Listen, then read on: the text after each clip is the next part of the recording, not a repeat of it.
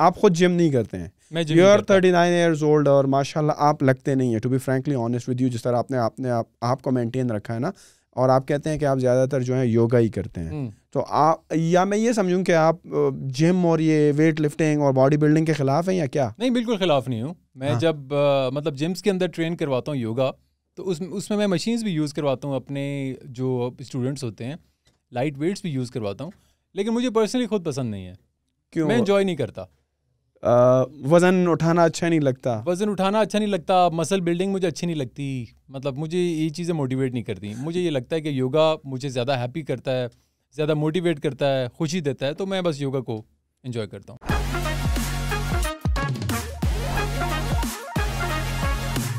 Normally लोग कहते हैं ना जब कि आप बुढ़ापे की तरफ़ जाते हो तो मसल लॉस ज़्यादा होता है। हम्म, तो लोग कहते हैं कि यार आप स्ट्रेंथ ट्रेनिंग करो रेजिस्टेंस ट्रेनिंग करो मसल्स बढ़ाओ प्रोटीन लो ताकि आपका मसल लॉस कम हो आखिरी उम्र में। तो इसको फिर किस तरह के वो करेंगे आप कि यार वेट लिफ्टिंग भी उतनी ज़रूरी है मसल बढ़ाना भी उतनी ज़रूरी है क्योंकि आखिरी उम्र में तो आपके वैसे भी लॉस हो रहे होते हैं। तो अगर आप नहीं करेंगे मसल डोले शोले नहीं बने होंगे तो फिर तो आप कमज़ोर रह जाएँगे जल्दी मर जाएँगे लोग कहेंगे। देखिए आपने बहुत से लोगों को देखा होगा ना वो जब बॉडी बिल्डिंग करते हैं मसल बिल्डिंग करते हैं तो एक ख़ास स्पेसिफिक एज के बाद उनके मसल लूज़ हो जाते हैं ठीक है? और वो इस काबिल भी नहीं रहते इतनी स्ट्रेंथ भी नहीं रहती कि आप वो आगे से मतलब मज़ीद बॉडी बिल्डिंग कर सकें या वेट लिफ्टिंग कर सकें। तो योगा एक ऐसी चीज़ है अगर आप शुरू करते हैं ना योगा में भी एक ऐसी कैटेगरीज हैं जिससे आप मसल बिल्ड कर सकते हैं। मतलब मैं इसी रूम में ये टेबल ये चेयर इस्तेमाल करके मैं मसल गेन करवा सकता हूँ। जो वेट गेन योगा है ना वो वो यही काम करता है। कि आपने मसल गेन करवाना तो वो आपको मसल गेन करवा देगा। बट ज़रूरी नहीं कि उसके लिए वेट लिफ्टिंग ही हो ठीक है? आप हम्म। नेचुरल तरीके से भी with yourself using the very basics आप जो है वो वेट गेन करवा सकते हैं मसल बिल्डिंग करवा सकते हैं। इन अ नटशेल अगर मैं आपसे पूछूँ ना योगा असल में है क्या चीज़? For you were to define it. ना क्योंकि अब तो इंटरनेट का दौर है और इंटरनेट पर जो है अजीब अजीब किस्म की मूव है बंदा पूरा टेढ़ा हो जाता है एक योगा मैट रखी हुई है और हाँ। लड़की है और पता नहीं क्या कुछ करे। लेकिन अगर मैं आपसे इन नटशेल पूछूँगा असल में योगा है क्या चीज़? If you were to define it in a very layman layman अल्फाज में। देखिए yoga is a complete art of living आपको पूरा जीने का तरीका सिखा देता है हम्म। योगा। योगा आपको डिसिप्लिन सिखाता है योगा आपको क्लीनलीनेस सिखाता है आपने खुद को साफ़ रखना है आपने इनर को भी साफ़ करना है आपने आउटर को भी साफ़ रखना है। योगा आपको कंप्लीट लाइफस्टाइल सिखाता है आपने कहीं भागना है आपको योगा हेल्प करेगा। आपने दरख्त पे चढ़ना है आपको योगा हेल्प करेगा। आपको नींद नहीं आती अच्छी नींद के लिए आपको योगा हेल्प करेगा। आपको ड्राउने ख्वाब आते हैं उसके लिए आपको योगा हेल्प करेगा। आप मुझे बताएँ कोई ऐसी मेडिसिन है कोई ऐसा एक्सरसाइज है जो आपकी नींद को कंट्रोल करे जो आपकी ख्वाबों को कंट्रोल करे इसके लिए आपको मेडिकेशन लेनी पड़ती है। हम्म। लोग गोलियाँ खाते हैं। योगा में आपको ऐसा कुछ नहीं है। योगा में आपको छींक आने से लेकर नींद आने तक मतलब हर सोल्यूशन आपको मिलेगा। मेरी आ, मेरी एक क्लाइंट थी और वो एक फॉरेनर थी। उनके लेफ़्ट आर्म में दर्द था ठीक है? उन्होंने मुझे बुलाया मुझे कंसल्टेशन की कहीं से उनको मेरा पता चला तो मैं उनके साथ प्रोफाइलिंग उनकी की और एक हफ़्ते तक मैं उनके साथ एज अ ट्रेनर रहा। तो मुझे पता चला कि उनको एक वहम था कि उनके लेफ़्ट आर्म में दर्द है। असल में उनको दर्द नहीं था। वो जब बात करती थी तो अपने दोनों हाथों को ऐसे सख्त करके पकड़ लेती थी ऑटोमेटिकली और उनको पता नहीं चलता कि मैंने हाथ सुकेड़े हुए हैं, फिर वो खुल जाते थे। तो असल में उनका बचपन का एक ट्रॉमा था, किसी ट्रॉमा से वो गुजरी तो वो उनके साथ साथ चलता रहा। तो उनको ऐसे वहम हो गया कि मैं ठीक नहीं हूँ, मैं उदास रहती हूँ, मेरी बॉडी में दर्द रहता है। तो जो काउंसलिंग हुई, जिसमें हैप्पी योगा था मेडिटेशन थी मेडिटेशन में ना आपको पुराने टाइम में ले जाके आपकी बैड मेमोरीज को इरेज करके आपको नए एरा में ले आते हैं। तो बहुत ही एक मेराकुलस चीज़ है, मज़ेदार चीज़ है। तो लाफ्टर थेरेपी से योगा थेरेपी से हम उनको दोबारा वापस लेके आए। Within a week she was back to normal तो मतलब बगैर मेडिसिन के अगर आपको कुछ मिल रहा है so this is really miraculous और आपको इसको डेफिनेटली अपनी लाइफ में लेके आना और योगा तो बेसिकली अगर देखा जाए इंडियन ओरिजिन से है राइट इसका ओरिजिन इंडिया में पूरी दुनिया में जो पहला है ओरिजिन इसका इंडिया ही है। बिल्कुल। तो हमने एक पहले भी एक पॉडकास्ट करी थी योगी बाकिर साहब के साथ। ठीक इफ़ यू नो हिम जी जी। वो बता रहे थे कि हम थोड़ा सा जो है इसमें जो हिंदुज़म और इस साइड की कुछ चीज़ें हैं हम वो डिस्कस नहीं करते हैं लेकिन हम उनको डिस्कस किए बगैर उसकी इम्प्लीमेंटेशन करते हैं। तो यहाँ पर कोई कन्फ्यूज़न तो नहीं है? जिस तरह आपने कहा कि ये एक वे ऑफ़ लाइफ है। जी जी। तो हाउ यू वुड से कि आप ये एक चीज़ हिंदुज़म से उठा रहे हैं जो कि उनके रिलीजन का हिस्सा है या शायद उनके कल्चर का हिस्सा है। तो आप इसको किस तरह ट्रांसफॉर्म करते हैं और यहाँ की मुनासिबत से उसको बेहतर बनाते हैं? देखिए जी ये बहुत बड़ी कन्फ्यूज़न है और लोग इसमें काफ़ी कन्फ्यूज़ हो जाते हैं कि यार ये तो मतलब बहुत से पोजेज ऐसे हैं कि वो मतलब ऐसे अब ये वाला पोज है तो हाँ. वो कहते हैं यार कि ये हिंदुज़म से लिया गया है। और तो इसका रिलीजन से कोई ताल्लुक नहीं है। इसको रिलीजन से लोग इसलिए रिलेट कर देते हैं क्योंकि जो बुद्धा थे उन्होंने इसमें बहुत काम किया। सालों उन्होंने लगा दिए अपनी मेडिटेशन में। फिर काफ़ी सारे लोग ऐसे हैं जो इंडियन गुरु हैं और वो योगा से रिलेटेड हैं ठीक है? लेकिन रिलीजन से इसका कोई ताल्लुक नहीं है। फॉर एग्ज़ाम्पल अब ये जो पोज है लोग उसको कहते हैं यार कि ये वो क्योंकि अपनी ग्रीटिंग जब देते हैं तो वो हम्म। ये यूज़ करते हैं। हालाँकि ऐसा कुछ नहीं है। इसका बेसिक जो मैं आप लोगों को बताऊँ हालाँकि बेशुमार लोगों को पता नहीं भी होगा कि हमारा हाथ जो है ना इसमें सारे हाथ में प्रेशर पॉइंट्स होते हैं। हम्म। ठीक है? हर फिंगर का अपना मेरेकल है। ब्लड प्रेशर के लिए अलग फिंगर है हार्ट डिज़ीज़ के लिए अलग फिंगर है आपको पेट में दर्द है उसकी अलग प्रेशर पॉइंट है आपका माइंडफुलनेस नहीं है उसका अलग पॉइंट है मतलब पूरे हाथों में। तो जब हम ये पोज बनाते हैं तो हम बेसिकली इन सारे प्रेशर पॉइंट्स को प्रेस कर रहे होते हैं और ये एक्टिव हो हम्म। जाते हैं। जब ये एक्टिव होते हैं तो आपकी बॉडी ठीक से काम करती है। हम जो मेडिटेशन करते हैं जब हिंदूज़ मेडिटेशन करते हैं तो वो अपने गॉड को याद करते हैं अपनी थीम्स बनाते हैं ठीक है? जब हम करते हैं मेडिटेशन जो हमारे बुज़ुर्ग किया करते थे उसको लोग मराकबा कहते हैं हम्म। ठीक है?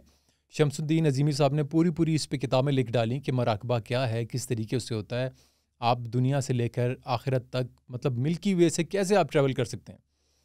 तो इस पर बड़े बड़े लोगों ने काम किया बड़ी बड़ी इन्होंने तय किया एनर्जी आपको पता है एनर्जी ट्रेवल करती है टाइम ट्रेवल करता है और इसमें हकीकत है।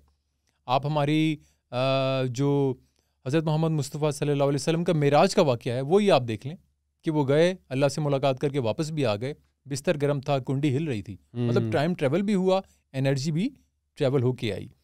जो जितना हम खोजेंगे उतनी हमें चीज़ें मिलेंगी। तो बेसिकली ये मराकबा है जिसको हम मेडिटेशन कहते हैं। अगर वो अपने गुरुज को याद करते हैं तो हम उसी में अपने अल्लाह को याद करते हैं। हम अल्लाह हु का विरद कर देते हैं और वो हु से हम मेडिटेशन उठाते हैं। हम्म। तो रिलीजन का इससे कोई ताल्लुक नहीं है। अगर हमने इसके बाद जब इंडियंस ने काम किया तो इसके बाद चाइना ने इस पर बहुत काम किया। चाइना चाइना में आप चले जाएँ नेपाल में चले जाएँ आपको लामाज मिलते हैं जो मेडिटेशन करते हैं अपनी पूरी ज़िंदगी वक्फ कर देते हैं इन्हीं चीज़ों में। ख़ुद को माइंडफुलनेस करने में ख़ुद को हैप्पी करने में ख़ुद को कंटेंटेड करने में। तो इसमें लाइफ गुजर जाती है अच्छी लाइफ गुजर जाती है आप ख़ुद को डेडिकेट कर देते हैं तो अगर आप अपनी लाइफ को ऐसा करना चाहें तो आप कर सकते हैं अपने तरीके से कर सकते हैं। तो इसको रिलीजन से रिलेट नहीं किया जा सकता ना मैं इसको करता हूँ। और मैंने जितनी भी सर्टिफिकेशन की हैं उसमें कहीं भी रिलीजन का इसमें ताल्लुक मौजूद सर्टिफिकेशन आपने कहाँ से की हैं? मैंने एक तो मास्टर्स किया बर्कले कॉलेज लंडन से ठीक है okay. वो फिटनेस और परफॉर्मिंग आर्ट्स में था। Okay. उसके बाद मेरे पास चार कैनेडियन सर्टिफिकेशन हैं जो इंटरनेशनल सर्टिफिकेशन हैं और इंटरनेशनल योगा एसोसिएशन जिसको आई वाई ए कहा जाता है। वहाँ से हैं जिसमें two hundred hours three hundred hours five hundred hours और पर्सनल योगा फिटनेस ट्रेनर की मेरे पास सर्टिफिकेशन मौजूद है। तो उसमें कहीं भी मुझे आज तक ऐसा नहीं मिला कि किसी ने मुझे कहा और वो सिखाने वाले जो थे वो सारे गोरे थे। हम्म। सिवाय एक के एक जो थे वो इंडियन थे बाकी सारे गोरे थे। तो मतलब इसमें जितना जो लोग काम करें वो काम कर सकते हैं। तो आप भी चाहें मैं भी चाहूँ तो जितना इसमें मैं सीखूँगा मैं सीख सकता हूँ। तकरीबन if I were to ask you ना कि आप बता रहे थे कि वेट लॉस के लिए अपना योगा होता है हम्म। एक टाइप होती है इसी तरह रेजिस्टेंस ट्रेनिंग के लिए अलग होती है इसी तरह अगर आपका बीपी हाई है तो शायद उसके लिए अलग होती है। टोटल तकरीबन कितनी ब्रांचेज होंगी योगा की? देखिए जी योगा की और ये ब्रांचेस कौन क्लासिफाई करता है कि अगर तीस है या चालीस है पचास है कौन करता है और क्या डिफरेंस है इसमें? देखिए जी मैं तो कहता हूँ कि योगा एक अनलिमिटेड चीज़ है ठीक है? बहुत से पोजेज ऐसे हैं जो मैंने खुद बनाए हैं ठीक है? हम्म।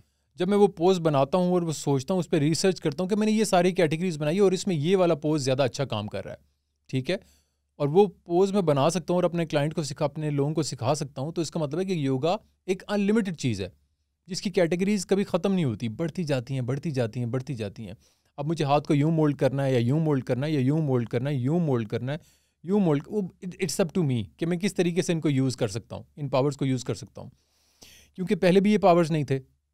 ये सारे नेचर से ड्रिवन है। इसमें बहुत से जैसे ट्री पोज है, दरख्त का पोज है, ठीक है माउंटेन पोज है, पहाड़ से लिया गया फ्रॉक पोज एक मेंढक को देख के, खरगोश का जो है वो rabbit pose eagle pose elephant pose camel मतलब सारी चीज़ें नेचर ड्रिवन है नेचर से।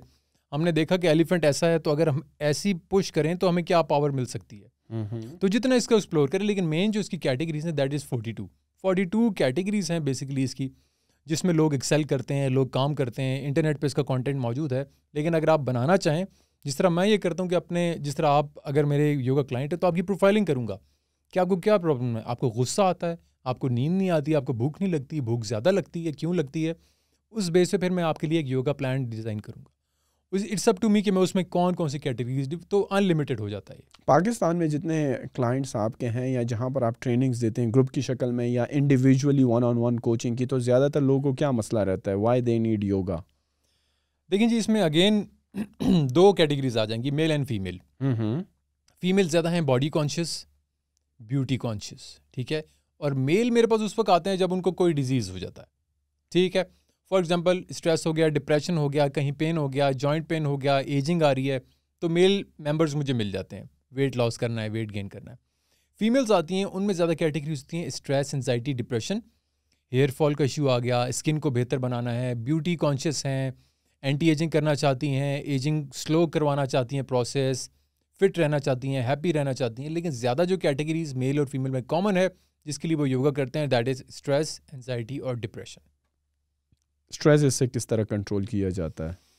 बिकॉज़ हाँ, देखो आप एक जॉब करे because you are also communication specialist as well workload आप पर रहेगा सही है? आप आपको टारगेट्स अपने मीट करने तो एक सबकॉन्शियसली आप पर एक स्ट्रेस होता है तो योगा करने से क्या वो सारी चीज़ आप बुला बुला देते हो क्या हो जाता है?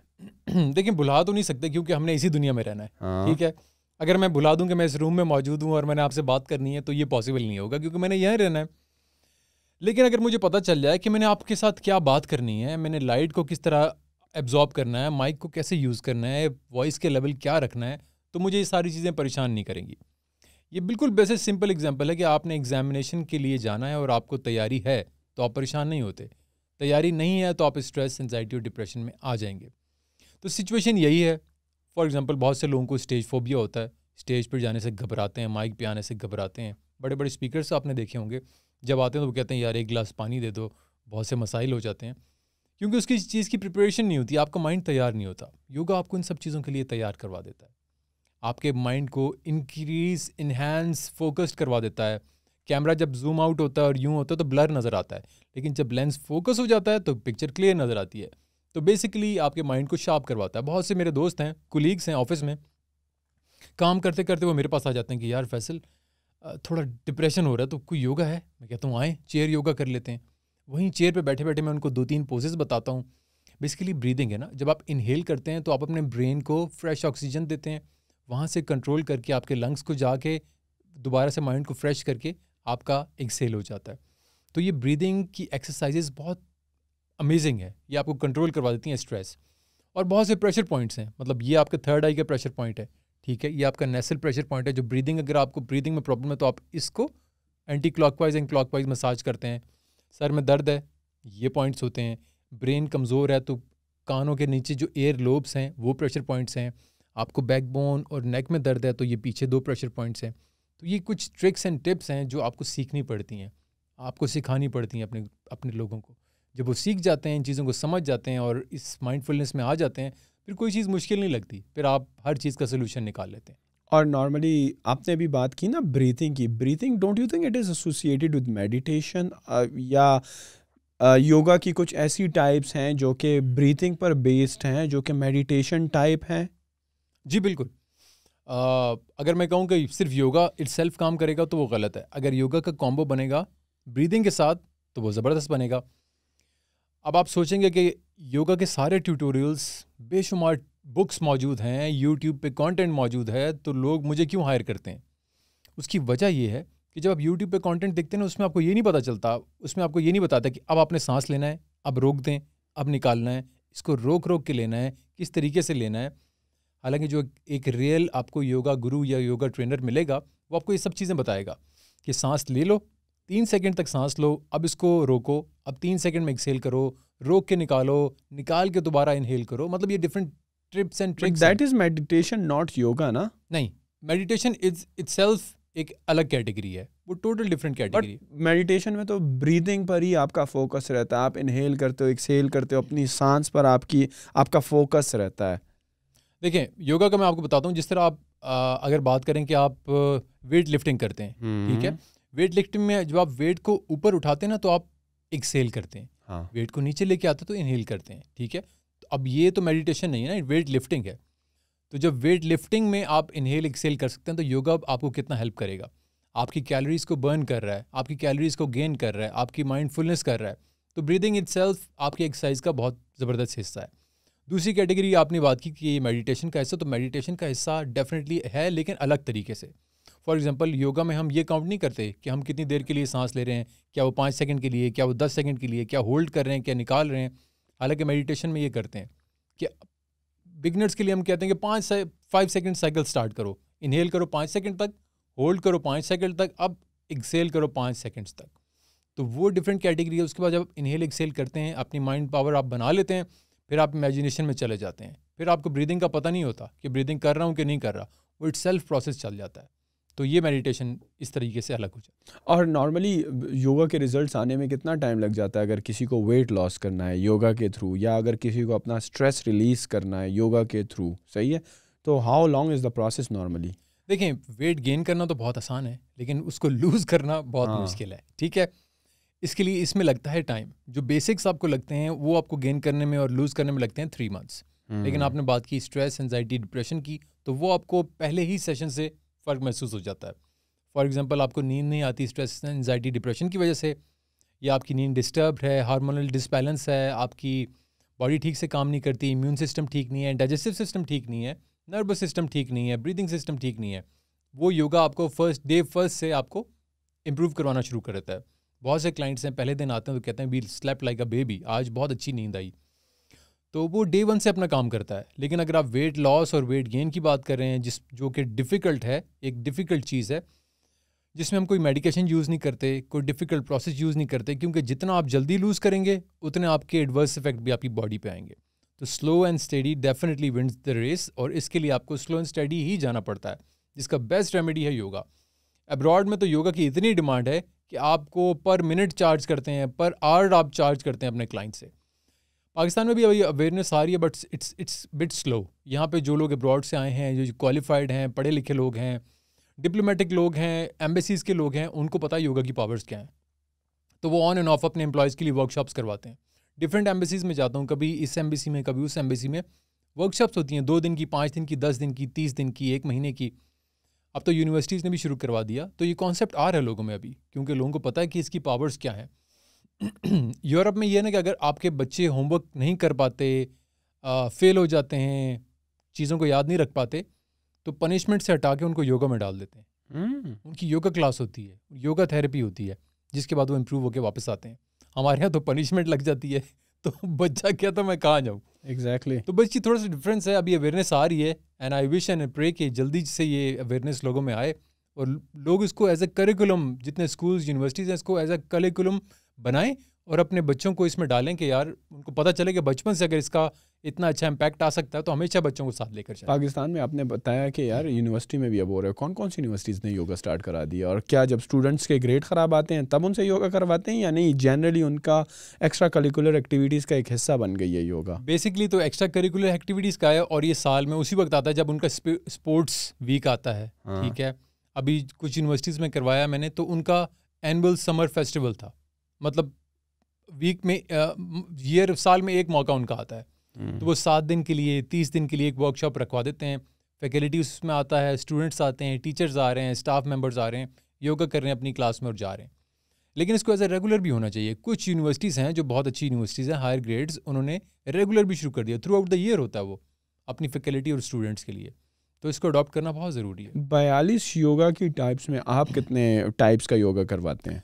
जितनी लोगों को ज़रूरत है और जो मैक्सिमम लोगों को ज़रूरत पड़ती है वो बारह कैटेगरीज है। कौन कौन सी माइंड माइंड योगा है फॉरेस्ट योगा है स्टंगा योगा है विन्यासा योगा है मतलब ये वो कैटेगरीज हैं पावर योगा है जो ज़्यादा लोग यूज़ करते हैं। इसी से वेट लॉस वेट गेन की टेक्निक्स निकालते हैं इसी से हम स्ट्रेस एनजाइटी डिप्रेशन का हल निकालते हैं इसी से हम माइंडफुलनेस निकालते हैं हैप्पी मेडिटेशन निकालते हैं। तो ये छः सात कैटेगरीज ऐसी हैं जो यहाँ पे हम लोगों को ये जो ये जो बारह कैटेगरीज आप बता रहे हैं अगर मैं आपसे कहूँ कि यार मुझे वेट लॉस करना है सही आपने बताया तीन माह लग जाते हैं इसमें टाइम लगता है बिकॉज़ वेट लॉस और वेट गेन में टाइम लगता है। ओवरनाइट नहीं होता ना तो जो वेट लॉस या वेट गेन का के लिए जो योगा आप लोग रिकमेंड करते हैं तो उसकी जो एक्सरसाइजेज हैं या उसकी जो पोजेज हैं वो इन बारह टिपिकल जो आप प्रैक्टिस हम्म, करवाते हैं उनसे बेस्ट पोजेस चुन कर आप करवाते हैं या नहीं?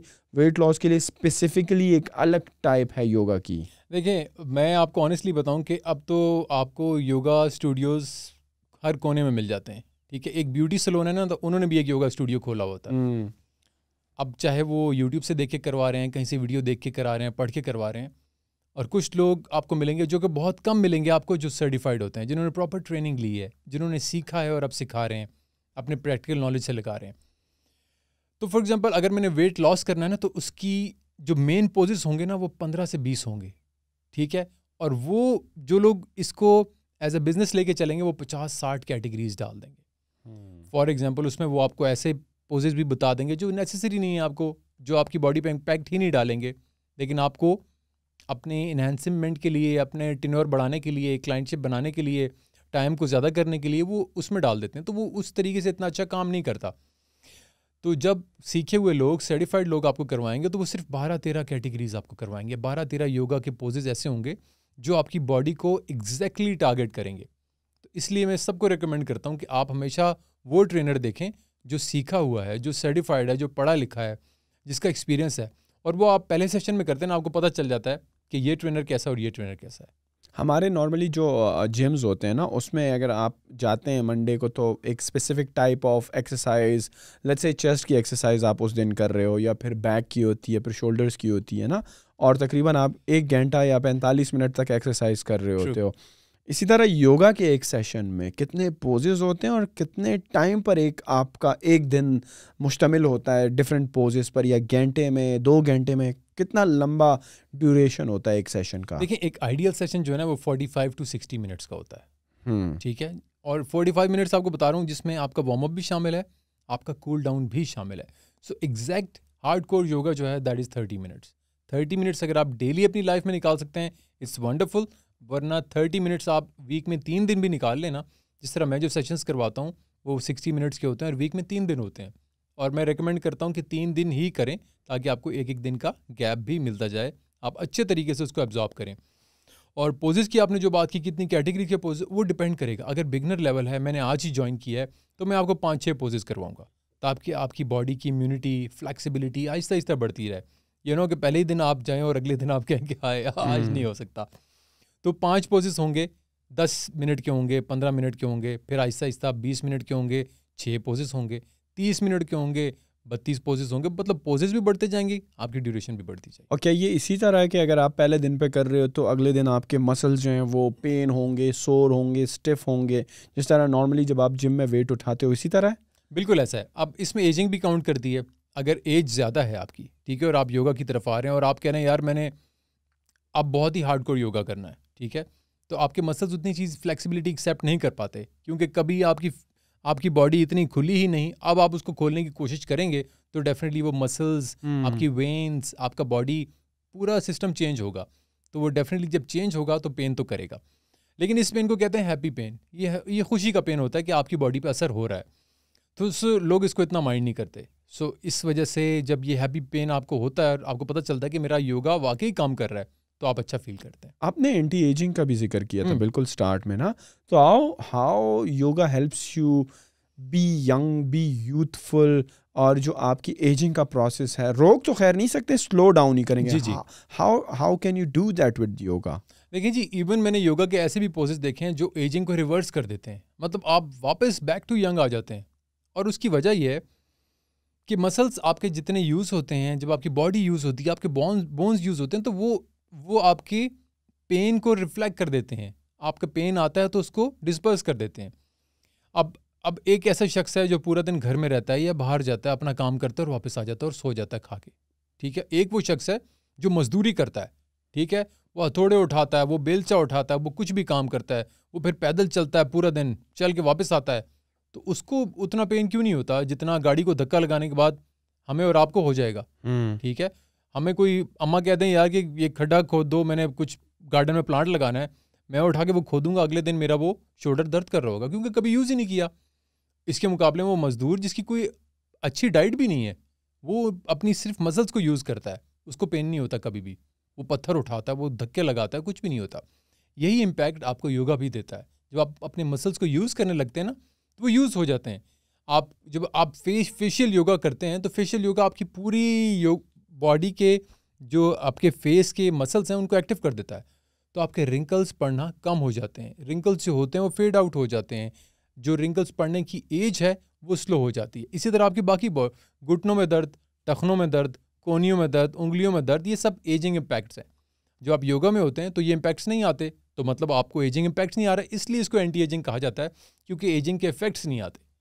तो आप अपनी हेल्दी और हैप्पी लाइफ गुजार सकते हैं। तो अगर किसी को एंटी एजिंग के लिए योगा करनी है तो उसके लिए स्पेसिफिकली एक घंटा मुख्त है और उसका वेट लॉस से या स्ट्रेस एलिविएशन से कोई ताल्लुक नहीं है कि बंदा कहे कि यार अगर या इस तरह होता है कि सब फ़ायदे मिल जाते हैं। आपको वेट लॉस के भी फ़ायदे मिलते हैं आपको आपका स्ट्रेस भी रिलीज़ हो जाता है और आपकी एंटी एजिंग भी अचीव हो जाती है। या नहीं स्पेसिफिकली एंटी एजिंग के लिए अपना ही योगा है। देखिए ये बहुत ज़बरदस्त सवाल है और ये बहुत कम लोग पूछते हैं।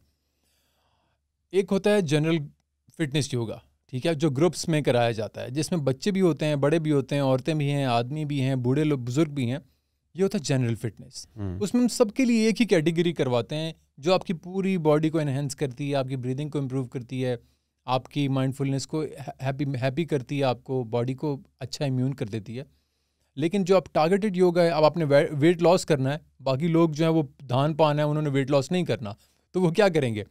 तो इस कैटेगरी के लिए सेपरेट योगा बनाया जाता है और वो लोग अपने सेपरेट ग्रुप्स बनाते हैं। For example friends and families ने पाँच छह लोगों का ग्रुप बना लिया जिन्होंने वेट लॉस करना है। हम्म। ठीक है पाँच छह फीमेल्स ने ऐसा ग्रुप बना लिया जिन्होंने माइंडफुलनेस योगा करना है।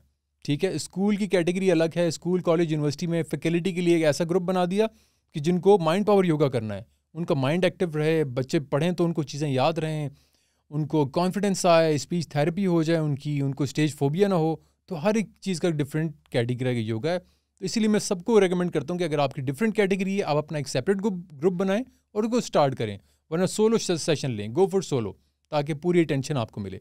तो general fitness yoga is something else और targeted yoga is different how long you are yourself practising yoga it's been twelve years बारह साल से। बारह साल से। किस तरह किस तरह आए योगा की तरफ़? मतलब कि नॉर्मली लड़कों में ये ट्रेंड रहा है कि हम्म। या तो वो जिस तरह मैं स्टार्ट से कह रहा हूँ कि जिम की तरफ़ चले हम्म, जाते हैं हम्म। क्योंकि हमारे पास और फैसिलिटीज़ ऐसा सच है नहीं। हाँ, सही है? या तो जिम की तरफ़ निकल जाते हैं या किसी स्पोर्ट्स की तरफ़ निकल हम्म। जाते हैं ख्वा क्रिकेट हो बैडमिंटन हो स्विमिंग हो कोई भी स्पोर्ट्स हो सही है? लेकिन आपने योगा ही क्यों चुना? मतलब कि आपको आपको किस चीज़ ने इंस्पायर या मोटिवेट किया कि rather than going into the sports traditional sport जो कि पूरी दुनिया में खेले जाते हैं you have found like a completely untraditional way और आपने योगा को डिस्कवर किया। देखिए जी ये मैंने आज तक इसको डिस्कस नहीं किया लेकिन मैं आज इसको डिस्कस करना चाहूँगा। Back in two thousand back in nineteen ninety eight ठीक है बहुत पुरानी बात है। मैं उस वक्त स्कूल में था। तो मेरे स्कूल की एक प्रिंसिपल थी। शी वॉज़ वेरी एजड काफ़ी उनकी एज थी और उनके अपने बच्चे जितना अभी मैं हूँ इससे बड़े थे। अच्छा। लेकिन वो बहुत फ्रेश रहती थी एक्टिव रहती थी। हैप्पी हम लोग कहीं डांस कर रहे हैं तो हमारे साथ डांस कर रही हैं। हम लोग पतंग उड़ा रहे थे वो भी आके पतंग उड़ाती हैं फुटबॉल खेल रहे हैं वो भी। तो आई वॉज़ रियली इंस्पायर्ड कि इनको क्या हुआ है। मतलब कौन सा ऐसा मेरिकल है कि इतना खुश रहती हैं एक्टिव रहती हैं हमेशा प्रेजेंट रहती हैं कभी लेट नहीं होती हैं हमेशा टाइम से होती हैं। क्या वजह है? फिर मुझे किसी ने बताया कि जी ये योगा करती हैं। मेरे लिए बहुत मेरे लिए तो लफ्ज़ ही बहुत नया था कि ये क्या चीज़ है। और पंद्रह बीस साल अगर आप पीछे चले जाएँ तो सोचें उस वक्त क्या इसका स्कोप होगा खासकर पाकिस्तान हाँ। में। तो हार्डली किसी को नहीं पता था कि योगा क्या चीज़ है। योगा योग से निकला और योग मिलता है रोग से तो मैंने कहा, ये तो कोई रोग ही होगा। फिर पता चला, जब मैंने इसको पढ़ना स्टार्ट किया कि ये तो बहुत अमेजिंग चीज़ है। फिर जब शौक हुआ तो फिर अपनी स्टडीज़ ख़त्म की स्टडीज़ ख़त्म करने के बाद फिर इसको पढ़ना शुरू किया। पढ़ने के बाद इसकी सर्टिफिकेशंस ली, जब मुझे इसके मेरिकल्स पता चले, फिर इसको पढ़ना तो मेरी बेसिकली इंस्पिरेशन वो मेरी प्रिंसिपल थी, जो इतनी एक्टिव और फ्रेश रहती थी और योगा करती थी। तो उसके बाद फिर मैंने सीखा, मैंने किया और अब बारह साल से सिखा रहा हूँ। और ये लाफ्टर थेरेपी का भी कोई योगा से कोई ताल्लुक है या it's a completely different science laughter therapy जिसको हम बोलते हैं। हाँ, laughter therapy is something different ठीक है? वो आप वो किस कैटेगरी में फॉल करती है? मतलब कि कोई मतलब कि कोई एक्सरसाइज है हम्म। या क्या है? बस कोई टेक्निक है? हाँ एक टेक्निक है लाफ्टर थेरेपी और म्यूज़िक थेरेपी मैं अक्सर इनकी वर्कशॉप्स करवाता हूँ और ये बट बट इनका योगा से कोई ताल्लुक योगा से कोई ताल्लुक नहीं अच्छा। ठीक है? ये ये थेरेपीज की कुछ टेक्निक्स हैं। ये माइंडफुलनेस की कुछ टेक्निक्स हैं ये हैप्पी रहने की कुछ टेक्निक्स हैं। ये आपको बहुत मज़ेदार और प्लेफुल किस्म का बना देते हैं उस किस्म की टेक्निक्स हैं। फॉर एग्जांपल कॉर्पोरेट सेक्टर ने अपने एम्प्लॉयज़ के लिए एक गेट टुगेदर रखी जिसमें उन्होंने कहा कि एक लाफ्टर थेरेपी सेशन भी होगा। बिकॉज़ वो उनको चाहते हैं कि वो रिफ्रेश हो जाएँ और दोबारा से अपना काम अच्छे करें। कुछ हॉस्पिटल्स करते हैं ये थेरेपी म्यूज़िक थेरेपी बच्चों के लिए लाफ्टर थेरेपी बड़ों और बुज़ुर्गों के लिए। जापान में बुज़ुर्गों के लिए एक टेक्निक है जिसको कहा जाता है ओवरसीइंग टेक्निक। उसमें वो ये करते हैं कि बुज़ुर्ग जो होते हैं ना जो उदास होते हैं ओल्ड एज होम में रहते हैं उनको वो छुट्टी के टाइम में स्कूल के बाहर ला के बिठा देते हैं। हम्म। और वो छोटे बच्चों की जब छुट्टी की घंटी बजती है वो हँसते खेलते बाहर निकलते हैं तो ये उनकी आवाज़ें सुनते हैं और उनको हंसता खेलता देखते हैं। इससे ही उनको इतना अच्छा इन्हेंसमेंट मिल जाती है कि वो रिकवर करने लगते हैं। तो इसी की कुछ टेक्निक्स हैं जो लाफ्टर थेरेपी में लेकर आए हैं जिसमें हम एक ग्रुप बनाते हैं ग्रुप में सब लोग बैठते हैं या खड़े होते हैं और वो एक दूसरे को देख के हँसते हैं। तो उनको हंसाने के लिए हमने डिफरेंट टेक्निक्स बनाई हैं। फॉर एग्जांपल सीजर टेक्निक अलग है कार्ड टेक्निक अलग है विच लाफ्टर अलग है हैप्पी लाफ्टर अलग है फोर्सिबल लाफ्टर अलग है जिसमें आप ज़बरदस्ती हँसते हैं शुरू में फिर आपको हँसी आनी शुरू हो जाती है एक दूसरे को देख के। तो जब आप हँसते हैं तो आपके लंग्स को फुल एयर मिलती है। मतलब ऐसे किया तो आप इनहेल भी कर रहे हैं एक्सेल भी कर रहे हैं लंग्स को पावर मिल रही है आपकी चेस्ट को एक्सपेंशन मिल रही है और वही पावर आपके ब्रेन को मिल रही है। हम्म। तो ब्रेन से लेके आपके लंग्स तक सारी चीज़ें रिफ्रेश हो जाती हैं और ये बहुत अच्छे तरीके से काम करता है। तो इसकी अभी अवेयरनेस की बहुत ज़रूरत है जितना लोग इसको समझेंगे उतना इसका फ़ायदा इंशाल्लाह लाफ्टर के लिए लोग तो ज़्यादातर कॉमेडी देखते हैं ना हम्म। जो मुख्तलिफ़ शोज़ होते हैं टीवी बिल्कुल पे। बिल्कुल। लेकिन आप कह रहे हैं कि और और किस किस्म के लोग आते हैं? वो जो ज़िंदगी से बिल्कुल मायूस हुए होते हैं या कैसे लोग लाफ मतलब कि बड़ा अजीब है। मैंने हाँ, मैंने कभी भी नहीं देखा ऐसा। किसी जिम में होता होगा कोई कहाँ प्राइवेट होते होंगे क्या कॉरपोरेट में ये ट्रेनिंग्स होती हैं कहाँ पे होती हैं? हमने तो कभी भी इस चीज़ को सुना हुआ है हम्म। लेकिन अभी प्रैक्टिकली होते हुए नहीं, नहीं देखा। देखा। हाँ सही बात है।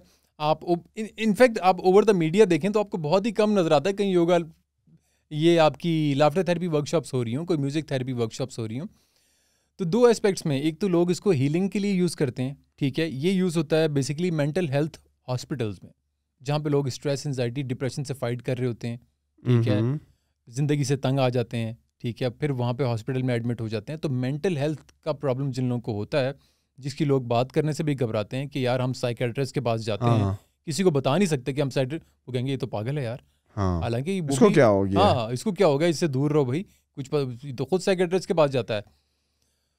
तो इसमें लोग शर्माते इतने घबराते इतने कि वो अपने किसी को बता नहीं सकते।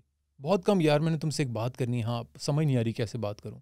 मैं साइकेट्रिस्ट के पास जाता हूँ। तो इसमें घबराने की कौन सी इतनी बात है? इसलिए साइकेट्रिस्ट जो है वो नॉर्मली रिकमेंड करते हैं कि लाफ्टर थेरेपी वर्कशॉप्स करवाई जाएँ। तो वो अपने पेशेंट्स के लिए अपने क्लाइंट्स के लिए करवाते हैं। दूसरी होती है एंटरटेनमेंट वाली लाफ्टर थेरेपी वो कराते हैं कॉपरेट ठीक है? फॉर एग्जांपल एक कम्युनिकेशन uh, स्किल्स की एक ट्रेनिंग करवा रहा हूँ और उसमें एक सेगमेंट होगा दस मिनट का लाफ्टर थेरेपी का। जब लोग कम्युनिकेशन स्किल्स या फिर माइंड साइंसेस का एक मैं ट्रेनिंग करवा रहा हूँ माइंड साइंसेस में लोग थ्योरम्स पढ़ रहे हैं एल्गोरिदम पढ़ रहे हैं और बोर हो गए। हम्म, अब दस मिनट की लाफ्टर थेरेपी वर्कशॉप आ जाएगी। तो दोबारा से रिफ्रेश हो जाएँगे एक्टिव हो जाएँगे हँसते खेलते दोबारा बैक टू द वर्क अब तो कॉर्पोरेट सेक्टर ये करता है कि सुबह जब ऑफ़िस स्टार्ट होते हैं ना तो पूरे ऑफ़िस के जो स्पीकर्स होते हैं, उनमें हल्का सा म्यूज़िक लगता है और म्यूज़िक के साथ साथ शुरू में हल्की सी स्ट्रेचिंग योगा की होती है, फिर लास्ट था टेन मिनट्स में मेडिटेशन और आपकी लाफ्टर थेरेपी होती है और उसके बाद बैक टू द वर्क ताकि आपके एम्प्लॉयज़ की जो कैपेबिलिटी है बढ़े उनकी परफॉर्मेंस बढ़े और वो अच्छे तरीके से काम कर सकें। तो इस तरीके से लाफ्टर थेरेपी को और म्यूज़िक थेरेपी को यूज़ किया जाता है। मेंटल हेल्थ की आपने बात की, पाकिस्तान में ये एक डायलेमा क्यों है? लोग इस पर बात करने से कतराते क्यों हैं? क्या वजह है? लोगों को क्या लगता है कि अगर मैं अपनी मेंटल हेल्थ के बारे में बात करूँगा कि यार मैं थोड़ा सा डाउन फील कर रहा हूँ स्ट्रेस्ड आउट फील कर रहा हूँ एंशियस फील कर रहा हूँ तो क्या वजह है कि हमारे लोग इसको सीरियस नहीं लेते हैं और कहते हैं कि यार तुम तो सही सही सलामत हो देखो खाना टाइम पे मिल रहा है कपड़े हम्म। पहने हुए हैं तुम्हारे पास गाड़ी है सब कुछ होने के बावजूद तुम डिप्रेस क्यों हो? क्यों ये एक डायलेमा है आपके ख्याल में? देखिए जी वो कहते हैं ना कि सबसे बड़ा है रोग कि क्या कहेंगे लोग? हाँ। ठीक है? तो ये रोग ही इतना बड़ा बन जाता है कि समझ नहीं आती। मेरे पास एक खातून आई वो मुझे कहती है कि मुझे ना आपसे कुछ बात करनी है। मैंने कहा कीजिए। मैं किस तरह आपकी हेल्प कर सकता हूँ? कहती हैं आपने कुछ नहीं करना आपने मेरी बात सुननी है सिर्फ़। हम्म, तो आपको मतलब अब लोग ऐसे नहीं मिलते जो आपको टाइम दे के आपकी बात सुन सकें। गुड लिसनिंग जो है वो ख़त्म हो चुकी है। गुड लिसनर ये नहीं कि मैं अच्छा म्यूज़िक सुनता हूँ मेरी म्यूज़िक कलेक्शन बहुत अच्छी है। गुड लिसनिंग ये है कि आपकी बैड लिसनिंग को मैं एब्जॉर्ब करके गुड लिसनिंग बना दूँ। आपका जो गम है स्ट्रेस है एनजाइटी है बोलने मतलब बोलने वाले बहुत हैं सुनने वाला कोई नहीं मिल रहा। हम्म, मुझे मैं अपनी दिल की बात किससे कहूँ? वो कहते हैं ना कि दोस्त मसरूफ़ हो गए इतने मैंने दुश्मन से राज कह डाला। कि हम्म, मुझे समझ ही नहीं आ रही कि मैं किसको बताऊँ अपनी बात।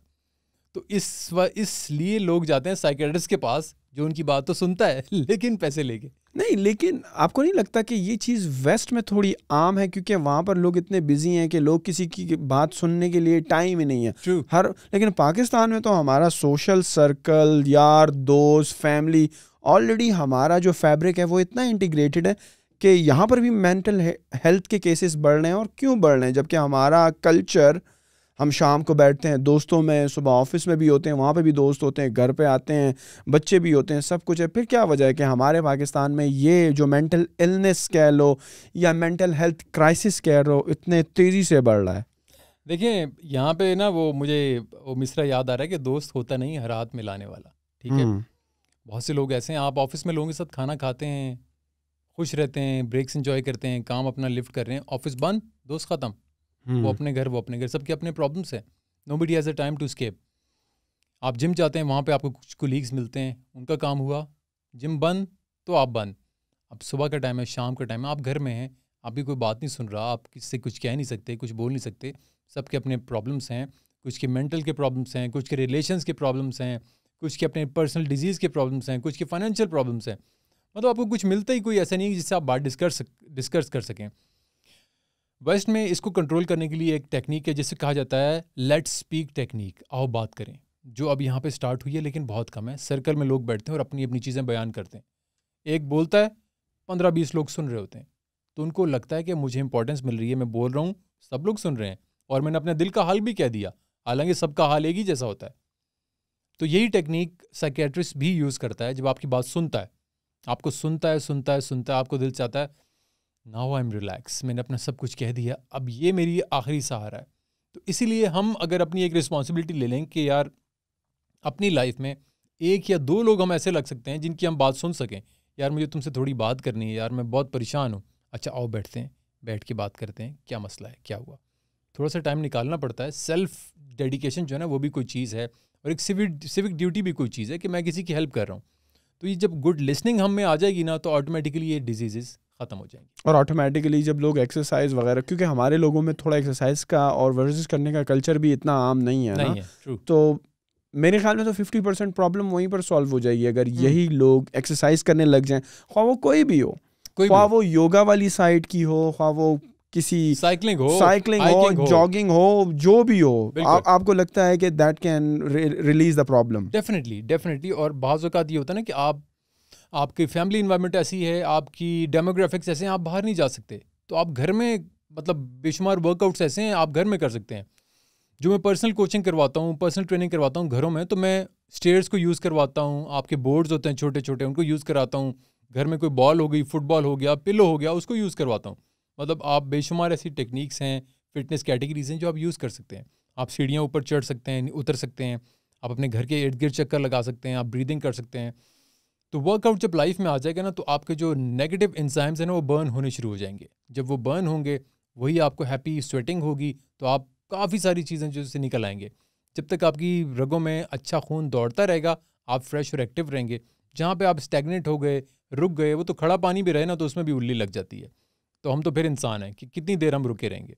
तो वर्कआउट डेफिनेटली अपनी लाइफ में शामिल करना चाहिए। जो आपका रेडियो का प्रोग्राम है, आप उसमें योगा से रिलेटेड और ये थेरेपीज और फिटनेस से रिलेटेड ही बातें करते हैं या वो उस प्रोग्राम की थीम कुछ अलग है जो आप आरजे हो रेडियो में? जी। एफएम कौन सा है? F M one one one O one तो। वहाँ पर आपका ज़्यादातर टॉपिक क्या रहता है? रात को दस से बारह दस से बारह जी। वहाँ पर आपके क्या टॉपिक्स रहते हैं? पहले मैं करता था मॉर्निंग शोज़ सुबह सात से नौ। कौन कौन से चैनल पे? सेम वन वन अच्छा। ठीक है। तो उसका जो शो था वो डिफरेंट था। मतलब उसमें लोगों को एक्सरसाइज की टिप्स एंड टिक्स ट्रिक्स दे देंगे। सुबह सुबह उठे रेडियो ट्यून इन किया तो अब मैंने क्या करना है? हम्म, अच्छा हेल्थ प्लान बता दिया डाइट प्लान बता दिया कि आज क्या खाओगे हम्म, किस तरीके हम्म, से कैलोरीज इंक्रीज करोगे डिक्रीज करोगे। अब जो रात वाला शो है ना इसमें हर कोई डिफरेंट मूड में होता है। या रिलैक्सिंग मूड में होगा या ड्राइव कर रहा होगा कहीं जा रहा होगा तो इसमें वो चीज़ें उनको अट्रैक्ट नहीं करेंगी। तो ये शो मैंने स्पेसिफिकली रखा है लाफ्टर थेरेपी के लिए। इसमें हम। सिर्फ़ हँसते हैं हंसाते हैं। मैं कोई टॉपिक नहीं रखता कोई उनवान नहीं रखता किसी टॉपिक पे मतलब कोई टॉपिक भी नहीं रखता।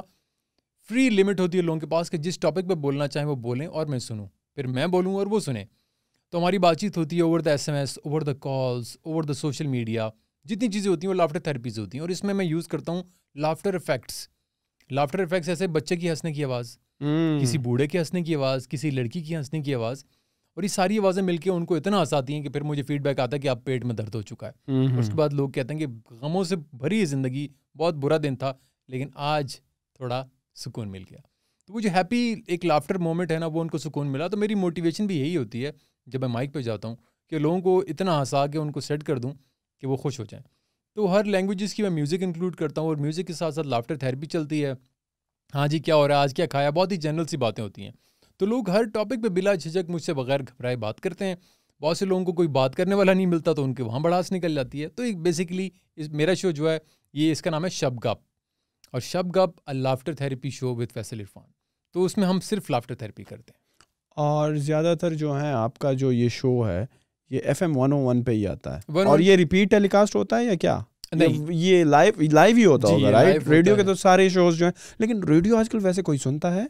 हाँ मुझे भी ये लगता कि इंटरनेट के दौर में और नेटफ्लिक्स और फेसबुक और ट्विटर और इंस्टाग्राम के टिकटॉक के दौर में। हाँ, सुनते हैं लोग? आ, मतलब आपको आपको आइडिया होता है कि इस वक्त कितने सुनने वाले हैं हमारे? कोई कोई कोई मैट हाँ जिस तरह टीआरपी होती है ना हाँ, टेली- हाँ, हाँ, टेलीविज़न के लिए हाँ हाँ। हाँ इस तरह आरआरपी होती है रेडियो के लिए उसकी एक रैंकिंग बनती है कि इतनी देर में ये लोग ये स्टेशन सुन रहे थे।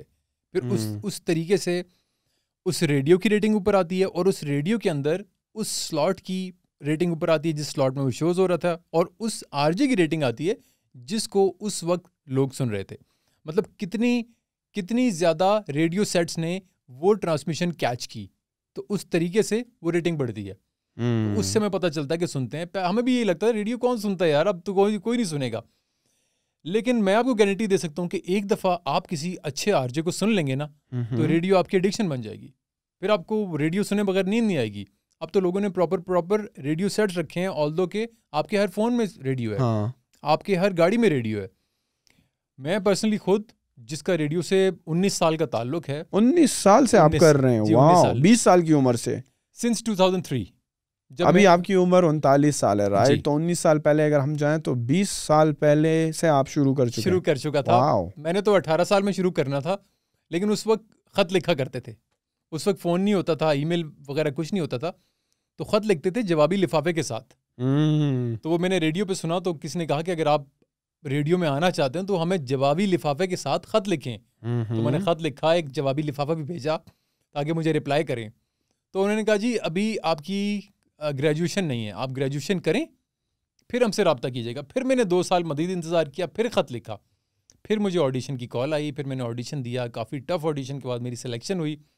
वो साल है 2003 से लेकर अब तक 19 साल कंप्लीट कर चुका हूँ मार्च में 19 साल हो गए हैं मुझे वही बीसवां साल चल रहा है।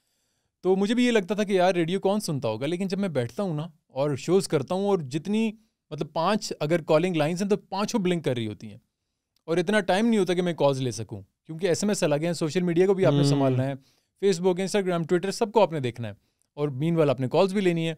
और कमर्शियल एस्पेक्ट को आप भूल नहीं सकते तो कमर्शियल भी प्ले होंगे। ऑब्वियसली तो वो उससे मुझे अंदाज़ा होता है सिर्फ़ पाकिस्तान से नहीं पाकिस्तान से बाहर। Germany Saudi Arabia London UAE मतलब दुनिया के किसी भी कोने से पाकिस्तानी होते हैं वो सुन रहे होते हैं।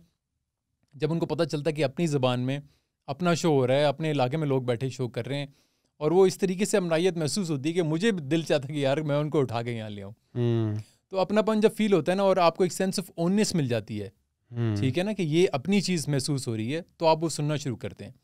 तो ना सिर्फ़ पाकिस्तान से बल्कि पाकिस्तान से बाहर भी लोग रेडियो सुनते हैं और बेशुमार सुनते हैं। वैसे आरजी एज अ करियर कैसा है? मतलब कि ये अगर कोई अपना प्रोफेशन या करियर बनाना चाहे इस दौर में बड़ा अजीब सवाल है। एक हॉबी के हद तक और एक साइड गिग की हद तक सही तो सही है हाँ। लेकिन एज अ करियर इसके बारे में आप क्या कहते हैं? लेकिन करियर ठीक है लेकिन career is it well paying career is it. Lucrative नहीं है? नहीं वेल पेड नहीं है। और इसलिए मैं जितने भी लोग कहते हैं ना यार हमने भी फैसल भाई हम भी आरजे बनना चाहते हैं हाँ। ये बनना चाहती हैं हमें बहुत शौक है। मैं उन्हें कहता हूँ अपनी पढ़ाई करो। ठीक है? अच्छा करियर बनाओ।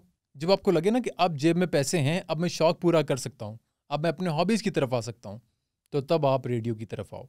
क्योंकि रेडियो में आपको लर्निंग मिलेगी आपको फेम मिलेगा आपको चीज़ें सीखने को मिलेंगी करने को मिलेंगी लेकिन आपकी उतना उतना पे आउट नहीं है कि आप अपनी लाइफ को भी उससे बैलेंस कर सको।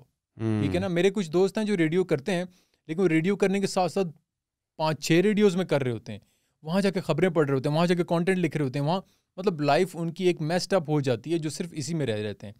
तो अपने कैरियर को साथ लेकर चलें। जिस तरह कैरियर मेरा चल रहा है साथ साथ हम्म। और ये passion as a communication specialist right at Jang जी बिल्कुल। क्या मतलब कि ये जो आपका रेडियो का शो है ये तो रात को दस से बारह आ दस से गया। बारह आता है। फिटनेस और योगा वाली और ये थेरापीज वाली जो सारा सीन है ये तो मेरे ख्याल में आफ्टर फाइव ही होता होगा क्योंकि उस वक्त लोग फ्री होते हैं। तो जो मॉर्निंग के टाइम में वो आप अपनी जॉब करते हैं। बिल्कुल वो जॉब चलता है तो जब आपके पास ये सारी सेंस ऑफ़ ऑकरिंग आ जाती है ना फिर वो टाइम होता है कि आप अपने हॉबीज़ को अपने जोश को अपने जज्बे को आप पूरा करें।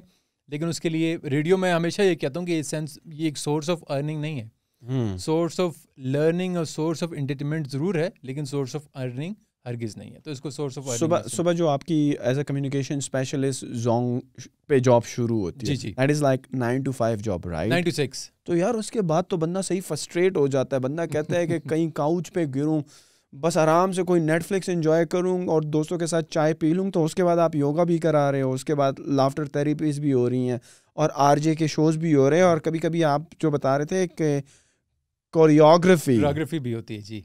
तो मतलब कि ये ये डेली तीन चार काम चल रहे होते हैं या क्या?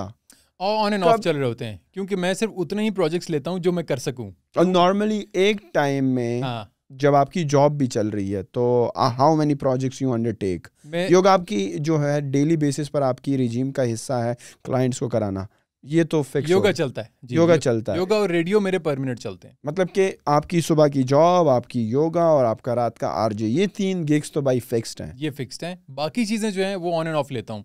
फॉर एग्जांपल कोई कॉर्पोरेट योगा वर्कशॉप आ गई कोई special personal fitness yoga platform आ गया कोई लाफ्टर थेरेपी वर्कशॉप आ गई कोई कॉर्पोरेट वर्कशॉप आ गई कोई कोरियोग्राफी का प्रोजेक्ट आ गया ये ऐसे प्रोजेक्ट्स हैं जो मैक्सिमम एक वीक दो वीक चलते हैं। सात दिन का प्रोजेक्ट आया आठ दिन का आया पंद्रह दिन का आया और ख़त्म।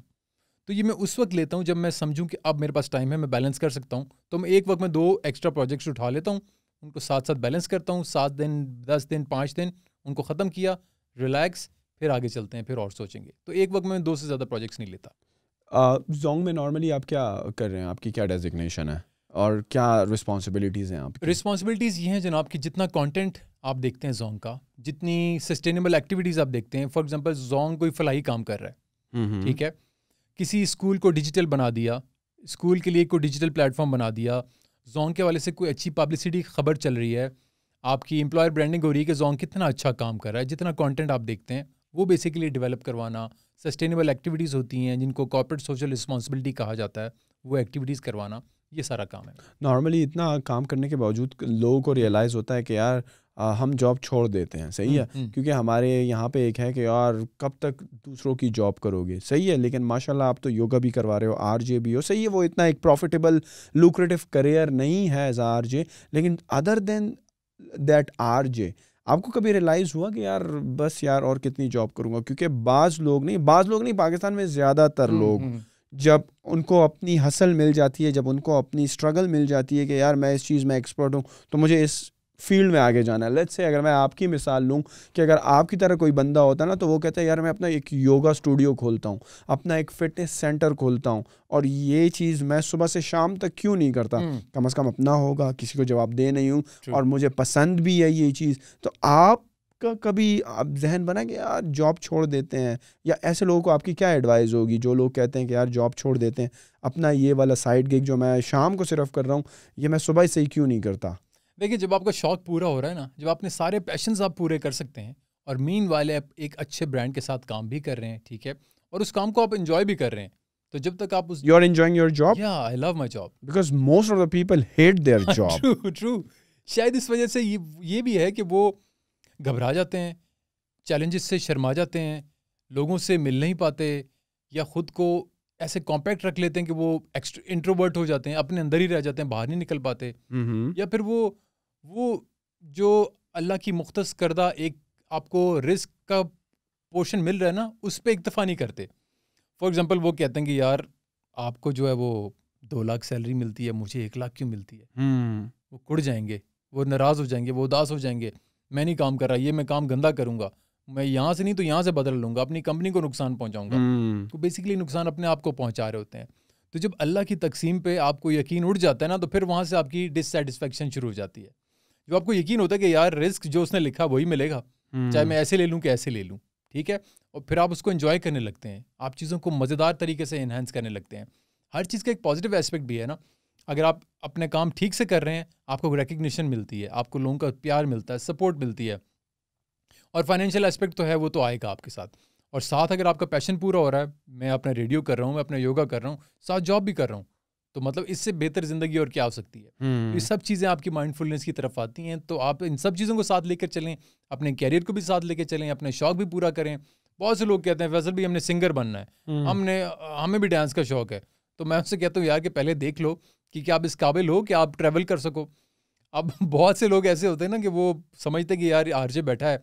ये इतना अच्छा बोल रहा है तो ये बड़ी सी गाड़ी में आता होगा। हम्म, हालाँकि उसको पता नहीं होगा कि वो आरजे बेचारा कहाँ से लटक के वैगन के पीछे आ रहा होगा और वो अपना शौक पूरा करके जा रहा होगा। तो इसीलिए मैं उनको कहता हूँ कि यार अपना पहले इस काबिल बनो कि आप अपने एक्सपेंसेस खुद निकाल सको अपने आप को अफोर्ड कर सको फिर आप अपना शौक भी पूरा करो। तो जो आपकी चीज़ें आपका पैशन आपका शौक बन जाता है और शौक आपका पूरा होता रहे तो फिर आप डिससेटिस्फाइड नहीं होते फिर आप सब कर जाते हैं। ये तो वो वाली चंद चीज़ें थी जो मुझे आपके इंस्टाग्राम पे मैंने देखी और मैंने उसमें सारी डिस्कस इसके अलावा कोई ऐसे काम है जो आप करते हैं और आपने अपने सोशल मीडिया पे नहीं लिखा हुआ? क्या इसके अलावा आपका कुछ करते हैं? हाँ एक बात तो मुझसे भूल गई। आप राइटर भी हैं। हाँ। क्या क्या लिखते हैं? राइटर में पोइट्री भी लिखता हूँ। नसर पहले लिखता था कंटेंट लिखता था। अब तो अब भी खैर कंटेंट लिखता हूँ लेकिन अब थोड़ा कॉर्पोरेट कंटेंट हो गया है। पहले मैं थोड़ा माइंडफुलनेस का कंटेंट लिखता था हैप्पी कंटेंट लिखता था। एक एक अखबार के लिए मैं कुछ कॉलम्स लिखा करता था। खैर वो दस पंद्रह साल पहले की बात हो गई। अब तो लोग भी डिजिटल अखबार पढ़ते हैं। हम्म, उसके बाद अब मैं अब भी कभी कभी लिखता हूँ लेकिन अब कंटेंट लिख लेता हूँ। अब अगर कोई वॉइस ओवर करना है तो उसका स्क्रिप्ट लिख लेता हूँ। कहीं डॉक्यूमेंट्री हो रही है उसकी रिकॉर्डिंग करवानी है तो उसका जो कंटेंट लिख लेता हूँ। कभी कोई दिल चाहता है तो कुछ पोइट्री कुछ शेर लिख लेता हूँ। पहले नज़में लिखता था अब नज़में सुकड़ के शेर पे आ गई हैं। तो हम्म, कभी अच्छा शेर लिख लेते हैं। तो अब कंटेंट यहाँ तक रह गया पढ़ते भी हैं आप। रीडिंग रीडिंग भी करता हूँ बिल्कुल मुझे सफ़रनामे पढ़ने बहुत पसंद है। मुस्तनसर हुसैन तारड़ को मैं बहुत शौक से पढ़ता हूँ। उनके जितने सफ़रनामे हैं वो मैंने पढ़े। डॉक्टर यूनुस भट्ट जो कॉमेडी लिखते हैं कॉमिक लिखते हैं वो मुझे बहुत अच्छा लगता है। तो कॉमेडी पढ़ना मुझे अच्छा लगता है और इन तीनों के दोनों के बाद जब टाइम बच जाता है तो फिर मैं पोइट्री पढ़ता हूँ। अच्छे हम्म। शायरों को पढ़ता हूँ अच्छे लिखने वालों को पढ़ता हूँ तो ये मुझे पढ़ने का शौक है। कोई चीज़ अगर मैं मिस कर रहा हूँ। नहीं नहीं आपने सब कुछ जो है वो वेल ऑन टाइम और बड़े अच्छे तरीके से आपने पूछा है तो आई थिंक कि अब हमने कोई मिस नहीं किया। सब thank you very much Faisal यार मुझे बड़ा मज़ा आया। यकीन करें कि मतलब इतने मल्टी टैलेंटेड और इतनी सारी चीज़ें आप एक साथ कर रहे हैं तो मेरे ख्याल में ये हमारे लिए मोटिवेशन से कम नहीं है कि हम हमारे जो लोग अक्सर कहते हैं कि यार हम एक जॉब ही कर लें ये बहुत बड़ा हम्म, पहाड़ है हमारे लिए। उनके लिए आप मैं समझता हूँ एक लिविंग लेजेंड हैं कि जो कि रात को दस से बारह अपनी हॉबी भी कर रहा है सुबह से नाइन टू फाइव जो है वो अपनी मेन जॉब भी कर रहा है साथ में क्रियोग्राफी भी हो रही है साथ में लाफ्टर थेरेपीज भी चल रही हैं योगा भी हो रहे हैं फिटनेस भी हो रही हैं। So you truly are an inspiration for the youth of our country and thank you very much for being part of our podcast and guys I hope कि यार आपने कुछ सीखा होगा कि फैसल भाई इतने मल्टी टैलेंटेड और इतने मल्टी डायमेंशनल हैं। और काम भी कर रहे हैं लाइफ भी इंजॉय कर रहे हैं फिटनेस भी मेंटेन किए हैं और हॉबीज़ भी उनकी जो है, माशाल्लाह से चल रही हैं। I hope you like this podcast make sure you share it with your friend and don't forget to subscribe to our YouTube channel thank you